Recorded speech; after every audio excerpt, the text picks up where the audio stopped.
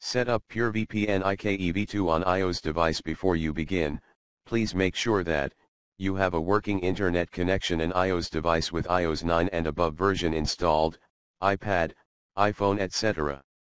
A premium PureVPN account, if you haven't bought it yet, click https slash slash billing.purevpn.com slash af.php, af equals 23180 to buy. Follow these simple steps to configure IKEV2 manually on your iOS device. 1. Go to your home screen and tap on Settings 2. Tap General. 3. Tap VPN. 4. Tap Add VPN configuration. 5.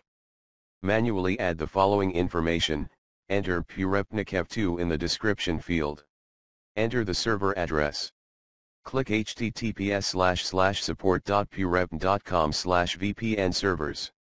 To get the server list. You can also enter server address in remote ID field.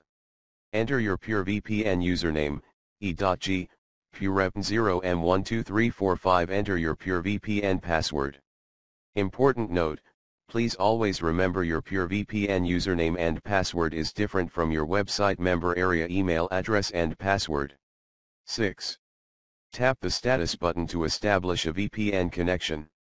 7.